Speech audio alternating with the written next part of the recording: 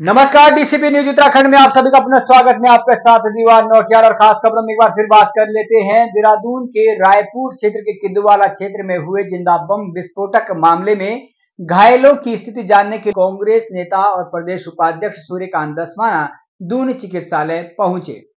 सूर्यकांत दसवाना ने सभी घायलों का हालचाल जाना। इसके साथ ही हमने दून चिकित्सालय के कुछ चिकित्सकों की भी प्रतिक्रिया जानने की कोशिश की है। क्या कुछ है घायलों की स्थिति? उसको लेकर हमने चिकित्सकों की प्रतिक्रिया जानने की कोशिश किया कबाड़ी की दुकान का ये पूरा प्रकरण बताया जा रहा था। जाँच एजेंसी जाँच में जुटी हुई है। अभी तक कुछ भी ऐसे गंभीर तार इस विस्फोटक के जोड़कर नहीं देखे जा रहे हैं। हो सकता है कि कबाड़ी की दुकान में किसी तरीके का कोई पुराना सामान इस तरीके का रहा होगा, जिसके अंदर कोई विस्फोटक पदार्थ इस तरीके का रहा होगा। जब उस पर हथौड़े से कबाड़ी के द्वारा चोट मार दी जाती है तो इस तरीके का विस्फोट देखने को मिला है। इसमें ज़रूर कहीं लोग गंभीर घायल भी बताए जा रहे हैं। एक आध की जो हालात है वो बेहद नाजुक बताई जा रही है, जबकि अन्य सभी लोगों का भी उपचार दून चिकित्सालय में चल रहा है। बड़ा मैंने अभी तत्काल मुझे पता लगा कि घटना रायपुर में किसी कबाड़ी की दुकान में कुछ कबाड़ बेचते हुए वहाँ पर कुछ ब्लास्ट हुई। जिसके कारण कुछ लोग घायल हो गए। अभी यहाँ पर आके पता लगा आठ लोग घायल हुए हैं। कबाड़ी की दुकान में अनुज नाम का कोई लड़का है। उसने हथौड़े से किसी चीज़ पर मारा।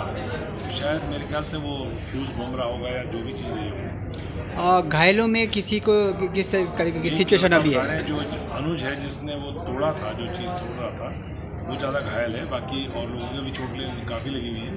लेकिन काफ़ी लोग घायल हुए और सीरियस लोग हैं।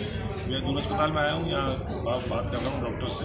मेरी डॉक्टर सहारा से बात हो गई है आना चाह रहे हैं। इनका इलाज शुरू हो गया है जो भी आवश्यकता पड़ेगी मदद की नहीं मदद करें। इस तरह पाँच मरीज़ भर्ती हुए हैं। पहला का नाम समीर है जिसकी उम्र पंद्रह साल मेल है रायपुर का रहने वाला है।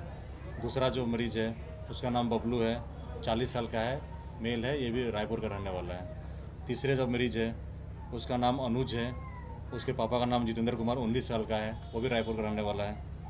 चौथा जो मरीज़ है अभी है उसके पापा का नाम जॉनी है पंद्रह साल का है वो वो भी रायपुर का रहने वाला है। और पाँचवा मरीज़ जो शिवम है बीस साल का है वो मेल है वो रायपुर का रहने वाला है। गंभीर से गंभीर दो हैं इसमें एक अनुज जो है उसकी ज़्यादा चोट लगी हुई है उसके हाथ भी कटी हुई है उसके और चेहरे पर भी काफ़ी चोट आई है। दूसरा जो बबलू है उसकी भी एब्डोमेन इंजरी मतलब लग रहा है उसे बाकी तीन स्टेबल है तीन की जाँच चल रही है रिपोर्ट में आता तो मैं उसके आगे उसके बारे में बताऊँगा रिपोर्ट में कैसी आती है उनसे। उनके घर वाले पेशेंट घर वाले किसी किसी एक है मैंने घर वाला से उतना संपर्क नहीं हो पाया मैंने एक सौ आठ से डिटेल लिया मतलब उसमें उन्होंने बताया बताया सिलेंडर ब्लास्ट हुआ था वहाँ पे। सीनियर प्रिंसिपल साहब और उनके ऐसे कुछ मतलब नहीं आया तो मुझे एक सौ वन ज़ीरो एट वालों ने बताया कि सिलेंडर ब्लास्ट हुआ था रायपुर से वहीं से मरीज़ लेकर आ रहे हैं।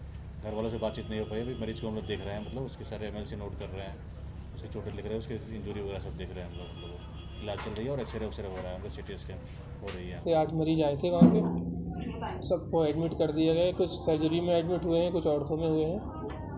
अभी स्थिति तो सही है बाकी सारे एडमिट हैं ट्रीटमेंट सबका हो चुका है। घटना ये दोपहर की घटना है।